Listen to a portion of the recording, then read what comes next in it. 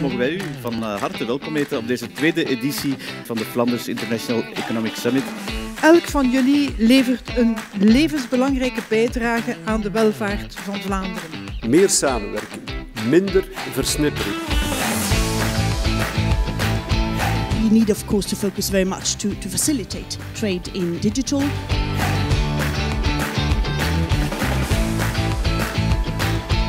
Krijgen te maken met een nieuw soort van ondernemingen die niet wachten om te innoveren, maar die dat eigenlijk al moeten doen vanaf de eerste dag dat ze bestaan.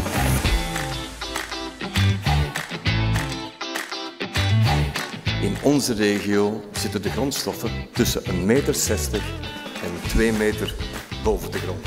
Dat is onze kracht.